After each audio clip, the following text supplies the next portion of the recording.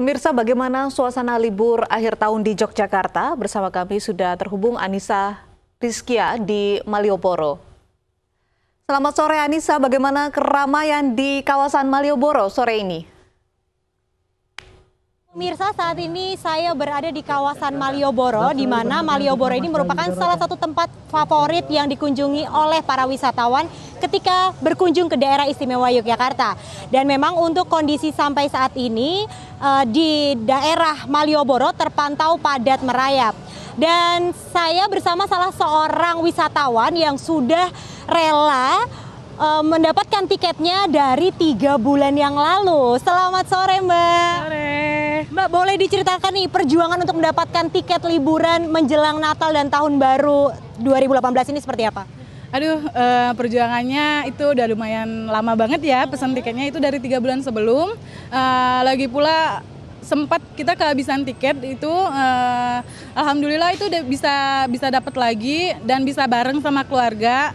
Uh, terus ya itu sekarang ya lumayan padat Jogja gitu. Oke, dari mana Mbak asalnya Mbak?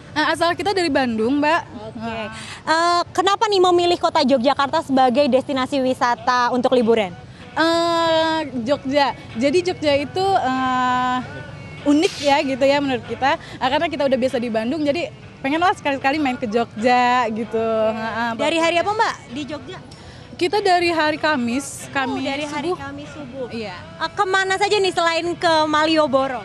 Uh, selain ke Malioboro kita udah pernah main ke Borobudur sama ke Lavatur Gunung Merapi. Uh, sama tadi ke kita ke Upside Down. Oke, okay. udah kulineran juga untuk khas makanan khas Jogja? Ya pastinya. Apa itu Mbak? Boleh diceritakan uh, nih ke pemirsa? Uh, kuliner ya kalau nggak makan gudeg itu belum abdol deh kayaknya belum kayak belum ke Jogja. Oke, okay, udah nyicipin gudeg ya Mbak ya. Oke. Okay. Terima kasih Mbak atas waktunya. Selamat melanjutkan perjalanan.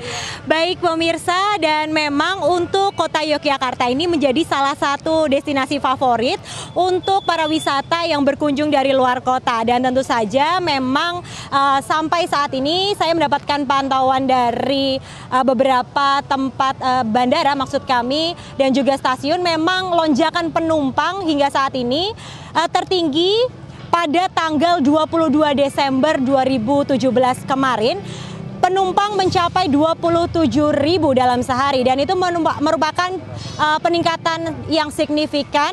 Dan memang untuk saat ini suasana di area Malioboro terpantau padat merayap di mana para uh, wisatawan juga bisa duduk-duduk di sepanjang jalan yang ada di Malioboro serta para wisatawan juga bisa mencicipi makanan khas yang ada di trotoar sepanjang area Malioboro. Selain itu di Malioboro juga banyak sekali pusat oleh-oleh untuk para wisatawan membeli buah tangan untuk keluarga, sanak saudara yang ada di kota mereka masing-masing.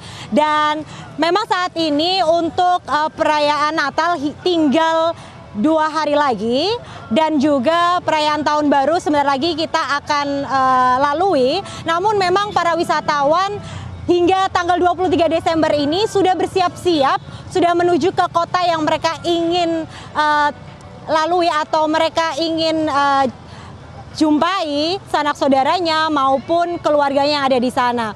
Dan tentu saja kepada para pemirsa yang ada di rumah, memang kami menghimbau kepada seluruh pemirsa untuk tetap mengantisipasi semisal ada kemacetan di beberapa jalan yang ada di kota-kota besar karena memang lonjakan penumpang ataupun wisatawan sudah nampak sampai saat ini. Demikianlah laporan dari Kota Jakarta. Kembali kepada Anda yang ada di studio.